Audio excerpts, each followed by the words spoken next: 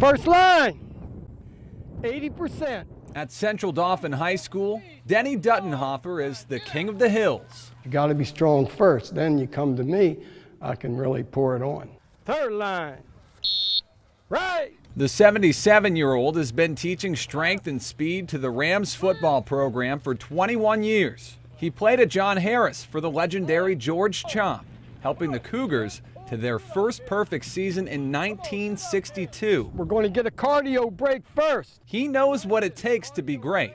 Then we're going backwards up that hill. And the hills never lie. You don't come in late, you don't do things like that. You don't talk when a coach is talking. They learn discipline. They take that with them the rest of their life.